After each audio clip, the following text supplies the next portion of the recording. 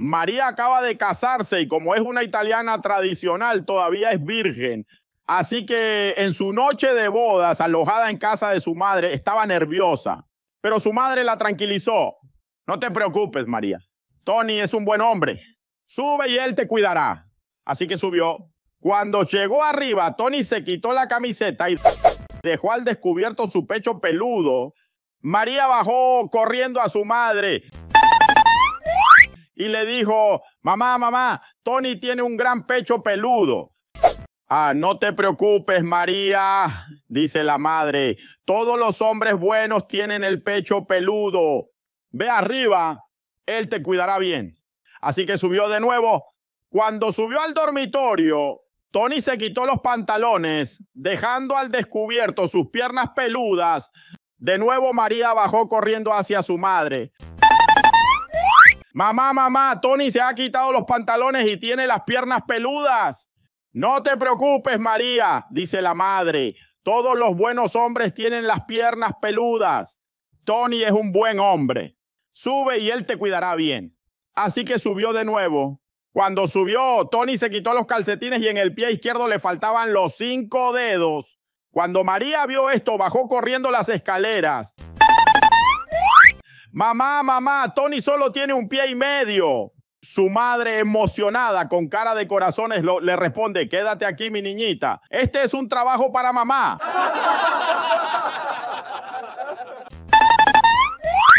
un mago se sube a un autobús y dice, damas y caballeros, voy a elevar este autobús por los aires. Y ¡zas! El autobús se eleva. Todos le piden que lo baje y dice el mago, ahora todos soplen. Y el autobús empieza a bajar. Ve a una rubia de cabello largo y dice, levantaré el cabello de esa mujer. Quizás el cabello llega al techo y dice, para que se le baje todos deben soplar.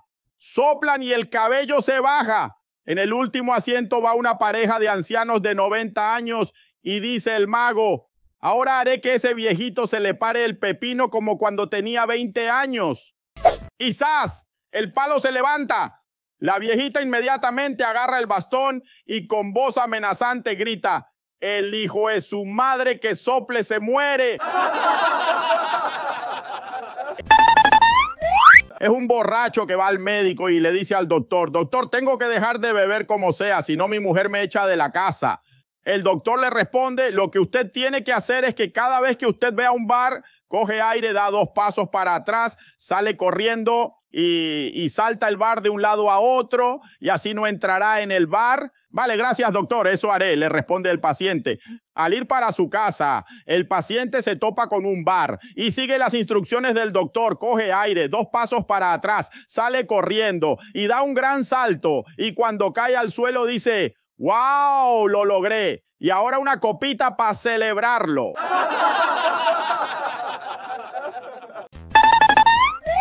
Esta es una vaca y un toro que se encuentran en el prado. La vaca le dice al toro, ¿cómo te llamas? Y el toro dice, yo Juan Pelota y tu mamacita. María Rosa. Bueno, un día te invito a jugar a la vaca que grita mientras que el toro la agita. A lo que el toro se, se, le olvida el nombre de la vaca y se le acerca mientras salta la valla que los divide y le pregunta de nuevo, ¿tú cómo era que te llamabas? Yo María Rosa, pero dime María, porque la rosa me la dejé en el jardín. ¿Y tú cómo era que te llamabas? Yo Juan Pelotas, pero dime Juan, porque las pelotas se me quedaron enganchadas en la valla.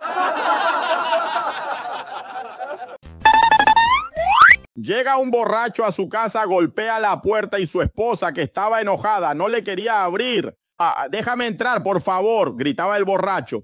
Pero la mujer no lo dejaba entrar. En una de esas el borracho dice, ábreme que, te, que tengo una flor para la mujer más linda. La mujer se conmueve al escucharlo y lo deja pasar y le pregunta, ¿y la flor? Y el borracho le contesta, ¿y la mujer más linda dónde está?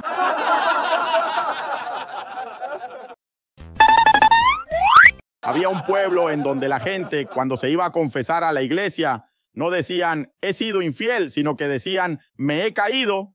Cuando llegó un nuevo sacerdote que no sabía acerca de esto, la gente iba a confesarse diciendo, Padre, me he caído.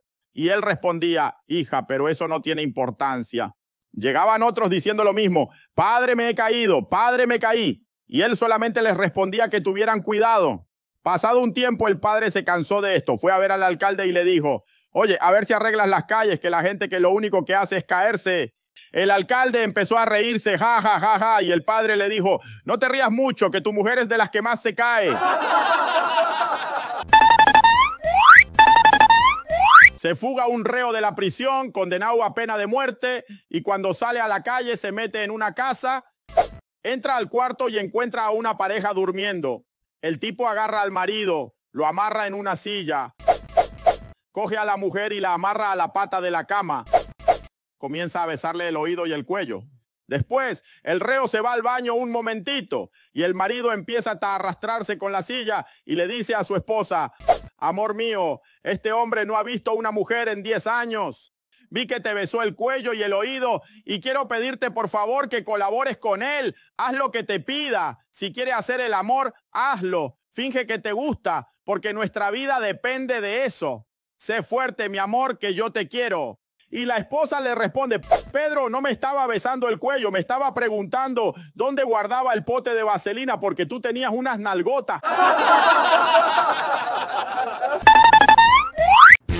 Una mañana un hombre llamado Pedro se despertó y se miró al espejo. Vio que tenía una barba horrible de unos 5 o 6 días que no le quedaba para nada bien y estaba desesperado por quitársela.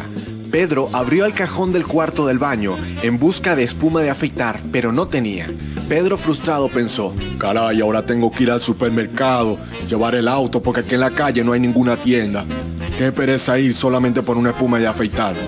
Yo mejor me voy a ir al barbero Hoy me voy a sentir como un rey, me van a afeitar en el barbero. Pedro fue a una barbería, se sentó a esperar y cuando le tocó pasar, se sentó y le dijo al barbero, Hola, venía para que me afeitaran, por favor. Claro que sí, caballero. Le pusieron la capa de corte por encima, se la ajustaron bien en el cuello, le empezaron a poner la espuma de afeitar con la brocha mientras Pedro se relajaba. El barbero empezó a afeitar magníficamente con la navaja y en medio del afeitado, Pedro le dijo al hombre, Disculpe, caballero, una cosa. Yo cuando estoy afeitándome en la casa, por esta zona de acá de la mejilla, me cuesta mucho afeitar esa zona porque me tengo que dar muchas veces y, yo me la dejo un poco irritada de tanta pasada. Mire, caballero, yo tengo la solución perfecta para ese problema. Sí, ¿Y, cómo es eso? ¿Qué es lo que hay que hacer? Ya mismo se lo digo, dijo el hombre, y sacó una bolita de madera de un cajón. Esta bolita de madera, usted se la mete en la boca ahora mismo y se la coloca entre la mejilla y la encía. Y entonces le saldrá por aquí una bolita, como si usted fuera un jante comiéndose una nuez. Y en esa parte abultada, usted se la afeita. Pruebe, pruebe. Y así lo hizo. Se introdujo la bola de madera dentro de la boca y empezó el barbero a afeitarle esa zona perfectamente. Ahora, ¿usted, usted se puede ahora poner la bola en la otra mejilla? Sí, sí, claro. Consiguió el afeitado perfecto por esa zona donde él siempre tenía irritaciones. Cuando estaban terminando el afeitado, le dijo Pedro al barbero. Una cosa, amigo, ya va. ¿Y si yo me trago la bola, qué pasa? pues entonces no hay problema. La trae mañana cuando salga del baño.